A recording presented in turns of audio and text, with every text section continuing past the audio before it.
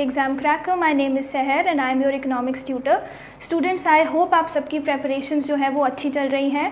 But along with the preparations उतना ही important है हमारा असेस करना अपने आप को। हमारी प्रेपरेशंस को हमें असेस करना उतना ही ज़रूरी है।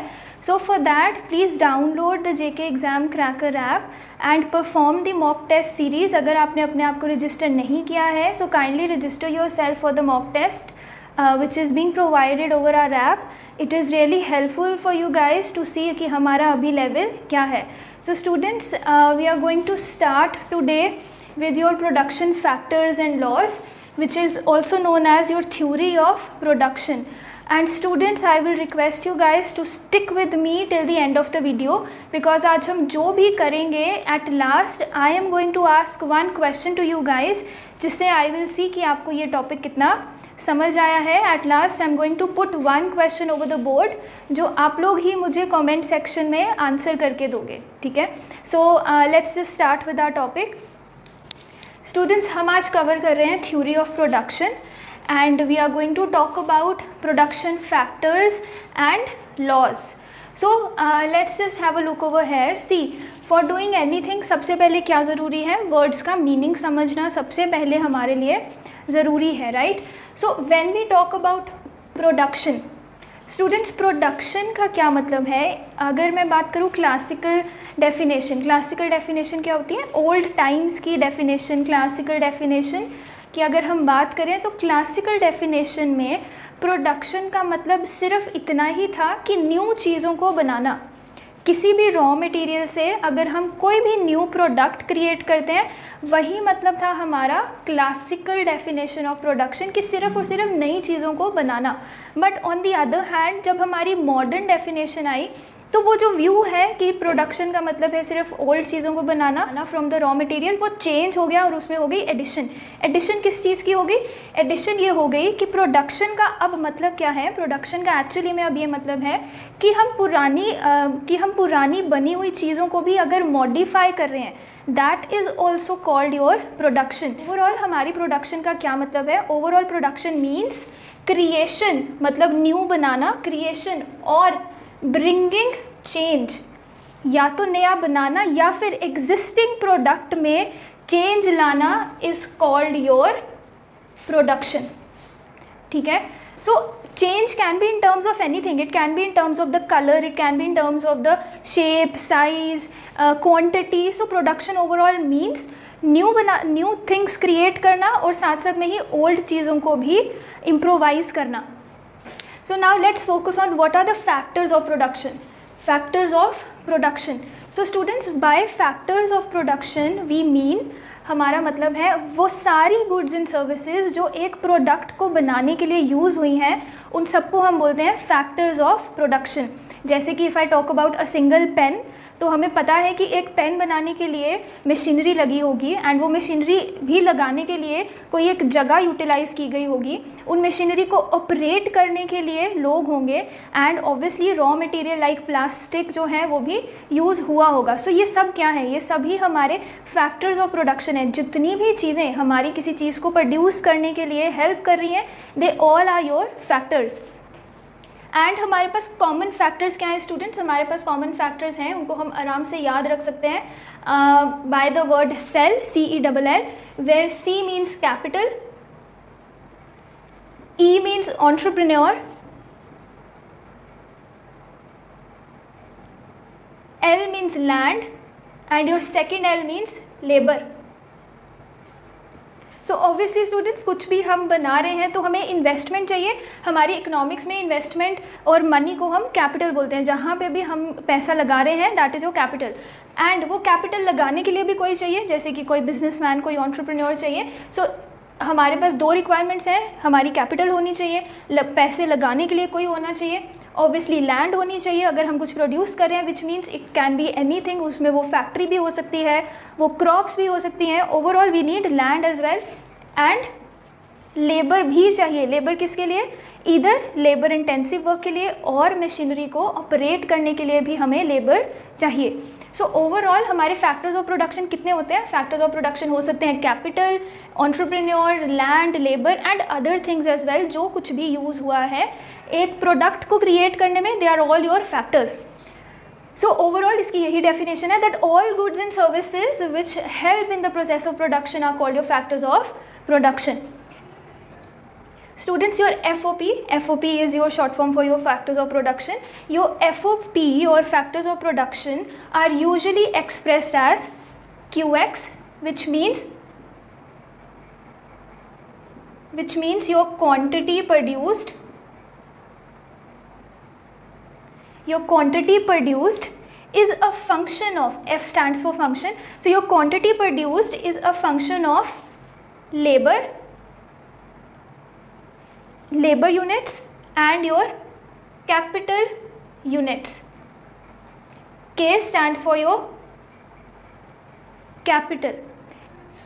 For example, 40 units of good X produce करने के लिए मैंने पाँच यूनिट्स ऑफ़ लेबर का यूज़ किया है और चार यूनिट्स ऑफ़ कैपिटल का यूज़ किया है बाय चार यूनिट्स आई मीन्स वो आई I मीन mean, वो यूनिट कुछ भी हो सकता है that unit can be in lakhs that unit can be uh, in thousands etc so overall 40 pens produce करने के लिए कितना लेबर लगा? है फाइव यूनिट्स ऑफ़ लेबर लगा है और फोर यूनिट्स ऑफ़ हमारा कैपिटल लगा. है so this is how we mathematically express our factors of production अगर कुछ और होता है तो वो यहाँ पे कॉमा करके एक और चीज़ हम ऐड कर सकते हैं ठीक है?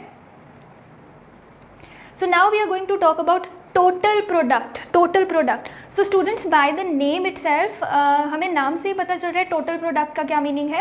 टोटल प्रोडक्ट का मीनिंग है sum total of whatever we have produced जैसे कि मंथली ले सकते हैं, ठीक है? जैसे कि हम बोल सकते हैं total quantity of goods produced by a firm during specific time period so total quantity produced during specific time period for example हम लगा सकते हैं कि जैन के महीने में, जनवरी में टेन यूनिट्स ऑफ़ पेन को प्रोड्यूस किया गया।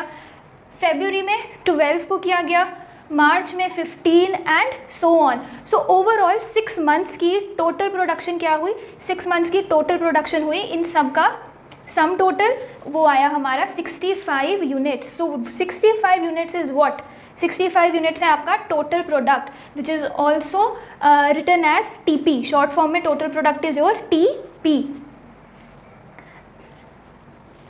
students your total product is also known as is also known as total return of variable factor so idhar say i have picked one word and that word is variable factor now what do i mean by variable factor see students when we talk about factors of production uh, we talk about two different factors एक होता है हमारा variable factor और दूसरा होता है हमारा fixed factor सो so, एक होता है हमारा वेरिएबल वेरिएबल फैक्टर और दूसरा होता है हमारा fixed factor now what do we mean by fixed fixed का मतलब है जो चीज़ें चेंज नहीं होती राइट right? uh, जैसे कि जैसे कि the area of land right और वेरिएबल का क्या मतलब है? वेरिएबल का मतलब है जो चीज़ें कांस्टेंट नहीं है जो चीज़ें आराम से चेंज हो सकती हैं लाइक like हमारी लेबर अगर मैं जनवरी uh, के मंथ में ट्वेल्व पीपल लगा रही हूँ एज लेबर एंड आगे फेब्रवरी में आई नो कि काम कम हो जाएगा और समथिंग सो मैं वो लेबर ट्वेल्व की जगह रिड्यूस कर सकती हूँ ना आराम से. I can make it eight और I can make it ten so what is that it is कि हम उसको वेरिए वो वेरिएबल है. हम उसको आराम से इंक्रीज़ भी कर सकते हैं और डिक्रीज़ भी कर सकते हैं. But on the other hand fixed क्या होता है स्टूडेंट्स फिक्स्ड होता है कि जो इतनी आसानी से चेंज नहीं हो सकता. फॉर एग्ज़ाम्पल हमारी मशीनरी अब अगर एक फैक्ट्री है और हम मशीनरी इंस्टॉल कर रहे हैं वहाँ पे इट डजेंट मैटर कि वो फैक्ट्री फेब्रवरी या मार्च या अप्रैल में वर्क कर रही है या नहीं कर रही है मशीन तो उधर ही रहेगी। यू के नॉट हम उसको बाहर नहीं निकाल सकते हैं राइट right? सो so, क्या बन गया? एक हो गया लेबर जैसे कि हमारा वेरिएबल कॉस्ट और दूसरा हो गया फिक्स्ड जो कि है हमारी फिक्स्ड मशीनरी जो इतने आराम से चेंज नहीं होगी।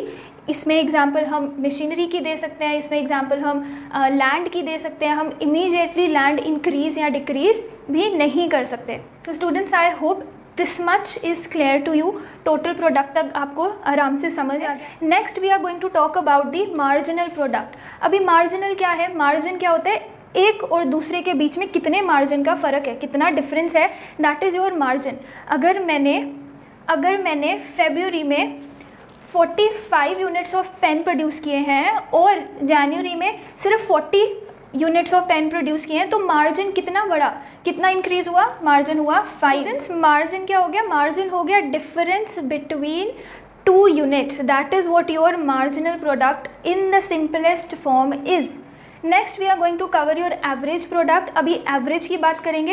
एवरेज क्या है स्टूडेंट्स एवरेज है कि टोटल प्रोडक्ट अपॉन लेबर कि हमारी लेबर का, हमारी वेरिएबल फैक्टर का एवरेज क्या है? So that is what your average product is output produced per unit of the variable factor कि एक लेबर एक इंसान कितने आउटपुट जो है वो प्रोड्यूस कर सकता है। दैट इज़ वॉट उसकी एवरेज क्या है? That is what your average product is and ये सिंपल फॉर्म में कैसे लिखा जाता है?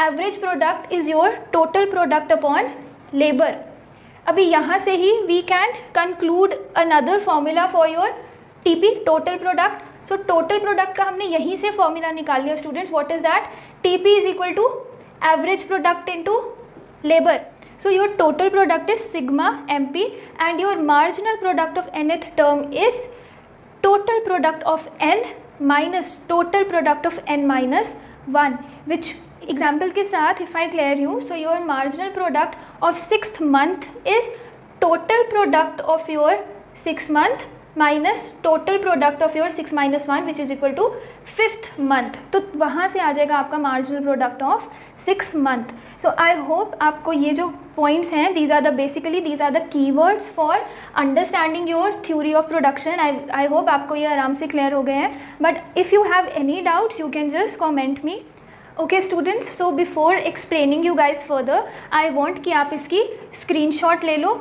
सो uh, दैट आप इसको बाद में भी आराम से रिवाइज कर सको एंड इफ़ आई एक्सप्लेन तो वो आगे फिर I will write so it's better कि आप पहले ही इसका जो है वो स्क्रीन ले लो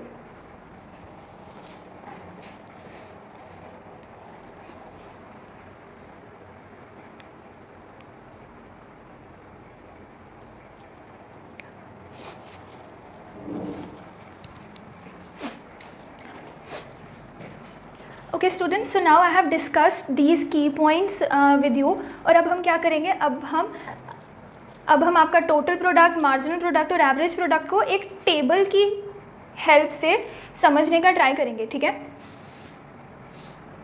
So students in this particular table मैंने फोर कॉलम्स आपके लिए ड्रॉ करे हैं, जहाँ पे एल क्या है? L is your variable factor variable factor मतलब लेबर है, जो कि आराम से चेंज हो सकती है, और यहाँ पे वो क्या हो रही है? यहाँ पे वो इंक्रीज़ हो रही है. लेबर जो है यहाँ पे हम इंक्रीज़ कर रहे हैं ठीक है?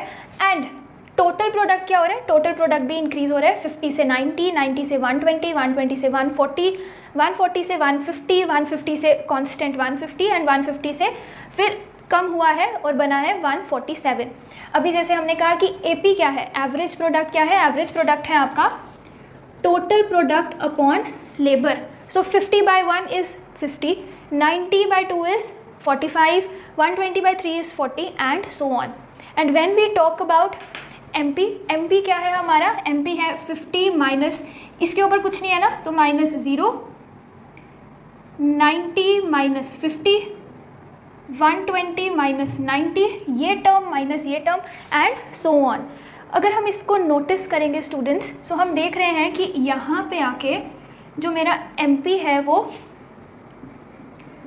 नेगेटिव बन गया right so can M P be negative definitely और M P can be negative और ये हमने जो है टेबल के थ्रू ही देख लिया है। बट इसके नेगेटिव होने के रीजंस क्या हैं? इसके नेगेटिव होने के दो रीजंस हैं स्टूडेंट्स नेगेटिव एमपी के हमारे पास दो रीजंस हैं और वो दो रीजंस क्या हैं? Number one is your disguised unemployment and number two is your when total production decreases when total product decrease हो जाता है, तब भी हमारा मार्जिनल प्रोडक्ट जो है वो नेगेटिव हो जाएगा। डेफिनेटली जब हम 150 प्रोड्यूस कर रहे थे और उसके बाद हमने कम कर दी ना अपनी प्रोडक्शन तो वो बन गया टीपी डिक्रीज होने के कारण एमपी भी नेगेटिव में चला गया। On the other hand negative MP का दूसरा रीज़न है disguised unemployment now students what is disguised unemployment disguised unemployment होती है छुपी हुई अनएम्प्लॉयमेंट जहाँ पे प्रोड्यूसर को या जहाँ पे हमें रियलाइज़ नहीं होता है कि यहाँ पे अनएम्प्लॉयमेंट है. जैसे कि अगर एक पीस ऑफ़ लैंड है और वहाँ पे हंड्रेड लेबरर्स जो है वो एफिशिएंटली वर्क कर सकते हैं बट हम वहाँ पे लगा रहे हैं वन ट्वेंटी और वन फिफ्टी तो हमारी प्रोडक्टिविटी नहीं बढ़ेगी। क्यों नहीं बढ़ेगी? क्योंकि with the increase in the labour मेरी प्रोडक्टिविटी तब बढ़ती अगर मेरा वो एरिया ऑफ़ लैंड भी इंक्रीज होता। तो अल्टीमेटली मेरे को वो ट्वेंटी एक्स्ट्रा या फिफ्टी एक्स्ट्रा लेबरर्स जो है वो कोई बेनिफिट नहीं दे रहे हैं। सो so, वो क्या है? वो छुपी हुई अनएम्प्लॉयमेंट है। मेरे को तो वो कोई भी बेनिफिट नहीं दे रहे हैं। So that is what your disguised unemployment is so in these two condition student हमारा एमपी जो है वो नेगेटिव भी हो सकता है। And now we are going to discuss one important law of your production and that law is your law of variable proportion your law of variable proportion भी यही बात करता है। आपका law of variable proportion already हमने क्या किया है? एक टेबल की हेल्प से आधा जो है वो क्लियर कर दिया है और ये यही बात करता है कि it states that as more and more जैसे ही ज़्यादा से ज़्यादा हम वेरिएबल फैक्टर को कंबाइन करेंगे फिक्स फैक्टर के साथ तो एक ऐसी स्टेज आ जाएगी स्टूडेंट्स जहाँ पे वेरिएबल फैक्टर के कारण हमें, हमारा एमपी जो है वो डिक्लाइन हो सकता है। ठीक है? और ये देखो, हम इसको टेबल के साथ एक्सप्लेन करेंगे। हम, इसमें हमने क्या क्या मेंशन किया है? इसमें हमने मेंशन किया है fixed factor so let's just take a fix factor over है सो हम अपना फिक्स फैक्टर क्या ले रहे हैं? हम फिक्स फैक्टर ले रहे हैं लैंड तो मैंने उसको फिक्स ही रखा है। One one one one one eight times one लिखा है और ये क्या है? फिक्स यूनिट है। तो लैंड में हम कोई भी इंक्रीज या डिक्रीज नहीं देख रहे हैं। On the other hand variable factor क्या है स्टूडेंट्स वेरिएबल फैक्टर है लेबर जो आसानी से बढ़ भी सकता है और कम भी हो सकता है। तो यहाँ पे हम कर रहे हैं उसको इंक्रीज वन से टू टू से three then four then five then six seven and eight और हमने क्या बोला है? जैसे more and more of the variable factor is combined with the fix factor which means वो एक ही लैंड का पीस जो कि वन यूनिट है, उसमें पहले एक लेबरर था तो कितना टोटल प्रोडक्ट आ रहा था? टू और मार्जिनल प्रोडक्ट भी टू जैसे हम कह रहे हैं कि लॉ ऑफ़ वेरिएबल प्रोपोर्शन बोल रहा है कि जैसे ही मैं ज़्यादा से ज़्यादा वेरिएबल फैक्टर को फिक्स्ड फैक्टर के साथ कंबाइन करती जाऊँगी एक स्टेज ऐसी आ जाएगी जहाँ पे मेरा एमपी जो है वो मुझे नेगेटिव रिटर्न्स देना स्टार्ट कर देगा और वही यहाँ पे हो रहा है। सो so, यहाँ पे अगर हम देख रहे हैं two three four which means your increasing your increasing MP is giving us the increasing returns. But on the other hand अगर हम ये देखें फोर थ्री टू तो ये क्या है ये हमारा क्या कर रहा है ये हमें क्या दे रहा है decreasing returns and ultimately 210 and minus 1 it is giving us negative returns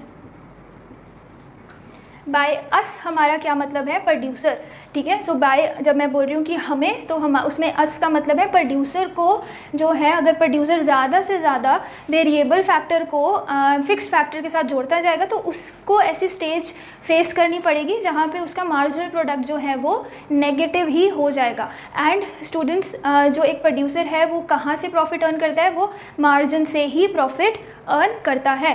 and students इसी लॉ की ग्राफिकल रिप्रेजेंटेशन ये है where this particular curve is your total product curve and this particular curve is your marginal product curve जहाँ पे और ये कितने हिस्सों में डिवाइडेड है स्टूडेंट्स ये थ्री स्टेजेस में डिवाइडेड है। वो थ्री स्टेजेस कौन सी हैं? वो थ्री स्टेजेस हैं इंक्रीजिंग रिटर्न्स की डिक्रीजिंग रिटर्न्स की और नेगेटिव रिटर्न्स की। और हमने इससे क्या ऑब्ज़र्व किया है? इस पूरे टेबल से, इस पूरे ग्राफ से हम चार ऑब्जर्वेशंस निकालते हैं और ये बहुत ही इंपॉर्टेंट है स्टूडेंट्स ये चार ऑब्जर्वेशंस को हम relationship between your marginal product and total product भी बोलते हैं. एंड वो चार ऑब्जर्वेशंस क्या है? हम ये ऑब्ज़र्व कर रहे हैं स्टूडेंट्स कि जब एम पी इंक्रीज़ हो रहा है, जब हमारा एम पी जो है वो इंक्रीज़ हो रहा है, अगर हम ये देखें टू से थ्री थ्री से फोर बढ़ रहा है ना सो so जब एम पी इंक्रीज़ हो रहा है TP is also increasing at an increasing rate 2 से 5, 5 से 9